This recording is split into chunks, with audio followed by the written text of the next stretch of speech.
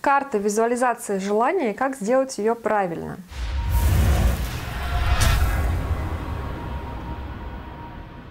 Привет, дорогие мои друзья, с вами Елизавета Волкова, вы на канале «О сила мысли».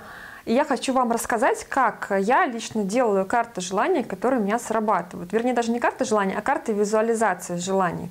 А есть разница, и сегодня об этом. Я знаю, что в интернете есть огромное количество видео на тему карты желаний, и есть какие-то определенные правила, как делать карты желаний.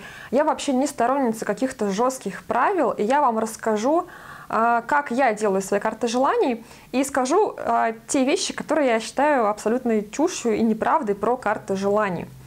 Во-первых, у меня есть отдельное видео, как срабатывали карты желания. Делала классную подборку. Хотите вдохновиться, обязательно смотрите, будет ссылка на этот э, ролик. А, также, если у вас срабатывали какие-то карты желаний, потом пишите мне в комментарии. Итак, ребят, э, какие вот есть правила лично для меня, когда я делаю карты визуализации? А, первое правило – это вот у меня есть какое-то желание – я не делаю огромные карты желаний, это вот такой прям на всю жизнь, да. А, я, ну, я делаю, но это не, не, не про этот случай, я сейчас хочу вам рассказать. Здесь нужна нам именно карта визуализации. К примеру, у вас есть какое-то конкретное желание, вот прямо сейчас вы чего-то очень сильно хотите. Что это? Можете писать в комментарии, я вам могу потом посоветовать в ответы, а, что вам а, сделать для карты желаний, да, если вы напишите мне, какое у вас желание конкретно сейчас. Смотрите, я беру листок формата А4, Просто вот беру листок, ну, делаю, например, это на белой картонке, либо на цветной картонке, да. Я на этот а, листок А4 наклеиваю сначала свою фотографию, даже бывает, что без моей фотографии, это не обязательно. А наклеиваю, наклеиваю изображение той точки Б, а, той новой реальности, к которой я хочу прийти. А если я хочу, например, дом, то я клею а, интерьеры дома, фасад дома, клею, например, название города, где этот дом находится. А, какое здесь есть самое главное правило вот в этих фотографиях? Это должны быть фотографии, чего вы на самом деле реально хотите. А многие раньше говорили, что нужно вырезать фотки из журналов, там, да, но часто эти фотки, они вот, вы смотрите на них, они у вас прям не откликаются, да. То есть, например, вы хотите выйти замуж и фот... Э, ищете там какие-то нереально крутые свадьбы, которые там миллион долларов стоят, это свадьба, там платье, которое за 10 миллионов, например, да, а вы, например, вообще обычная девчонка, просто хотите замуж.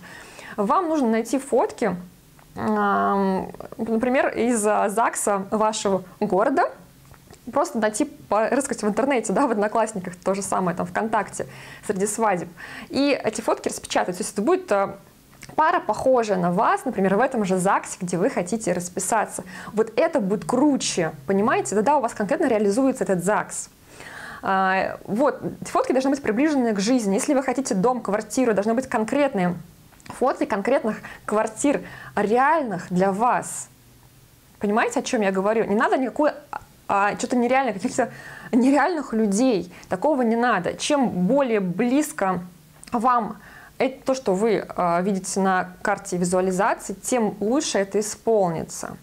То есть, например, я хочу поехать в отпуск, я визуализирую, не визуализирую, а клею конкретные пляжи с этого места, подписываю, например, это Гоа, да, или если я хочу дом, то я конкретно нахожу дом, который я реально хочу. То есть я реально э, заморочусь, да, найду этот дом конкретно. Не просто дом примерно, какой я хочу. Нет, я конкретно найду этот дом, и его буду вешать на свою доску визуализации. Это важно, ребят, это важно. Реальные фотки, первое правило. А, по поводу себя, не себя, это не обязательно.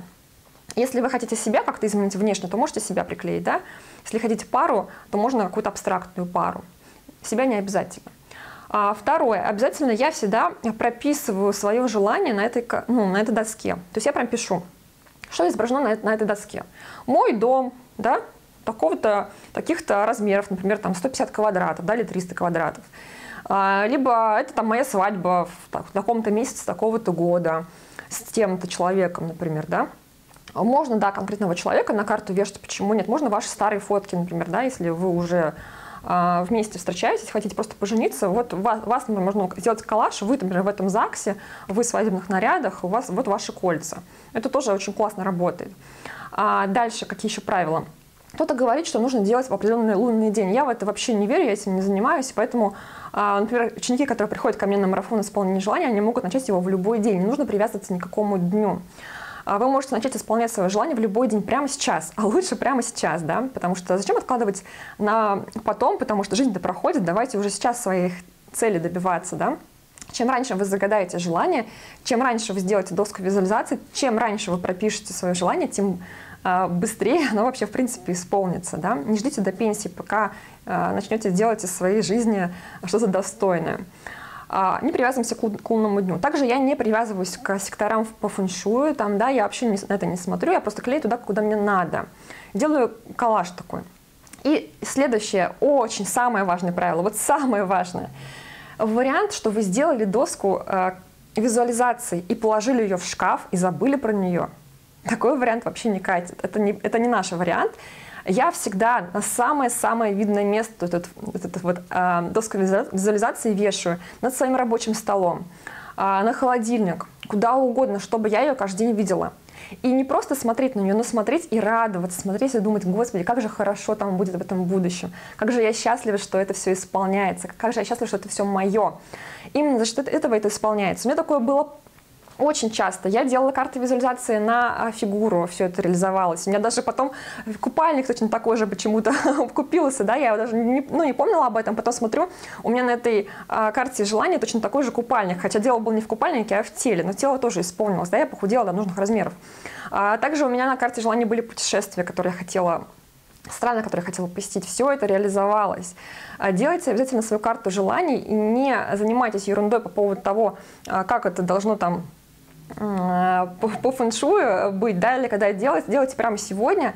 Обязательно а, делайте коллаж из того, как должна выглядеть ваша будущая реальность. А так, ваше желание обязательно очень быстро исполнится, потому что все это работает очень круто.